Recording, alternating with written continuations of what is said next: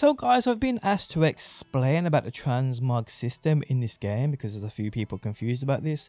So today I bring you a guide on everything you need to know about transmog within Hogwarts Legacy. Okay, so the transmog system in this game is quite simple. So, as you play the game, you'll unlock gear, you'll get gear drops from enemies, and that gear, as soon as you have it drop, guys, becomes a part of the transmog system. It unlocks for you in the game. So, for instance, you can see here with my uh, player's gear tab, hover above any single uh, slotable piece you have here and just press X on Xbox and square on that PlayStation.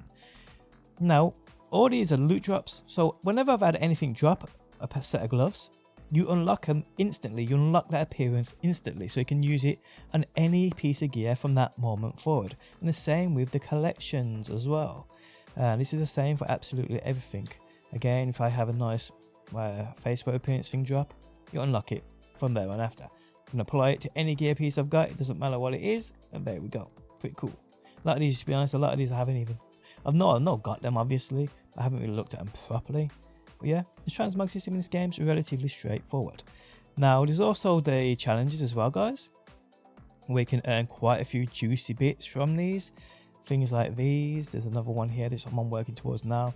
Things like this. Again, this is a part of that transmog system. So as soon as you unlock this, guys, it becomes unlocked in that transmog system. This isn't a gear piece. You won't have a like a gear piece drop. Just unlock it within that transmog.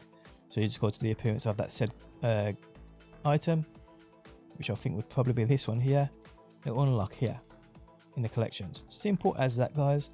Now, if you do want to do the challenges, the combat challenges specifically, and you want to unlock some of these amazing looking things, well, the best way to do these guys are the dark, well, the battle arenas.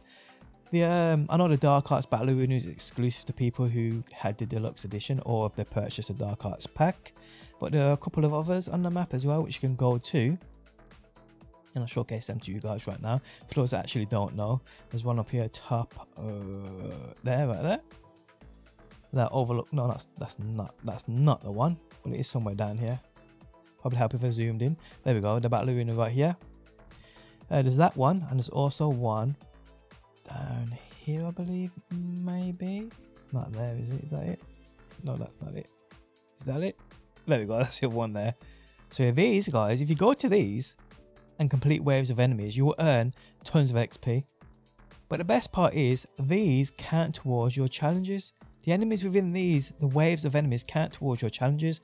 And what's even better, guys, is you can change your settings, put the game on easy, and there's no challenge there whatsoever. Or put the game even on story, which is just, just, I mean, the enemies just stand there for you.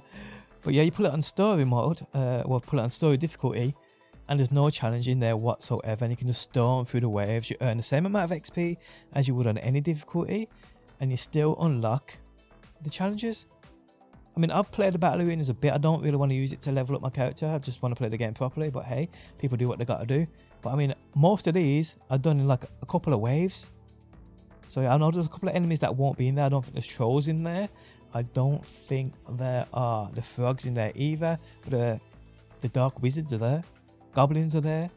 These fucked up looking things are here. I mean, the spiders are in there. So yes, guys, uh, the dueling feats as well. You'll do this in there too.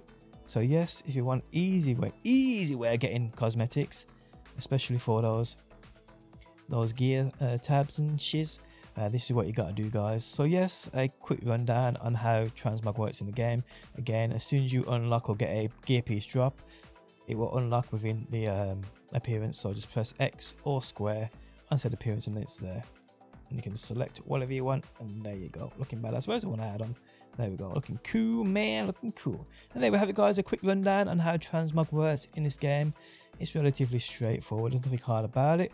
And there we have it, guys. If you enjoyed the video, leaving a like really helps out. If you like what you see and want to see more Hogwarts, be sure to subscribe. And hopefully, guys, I will see you on that next one.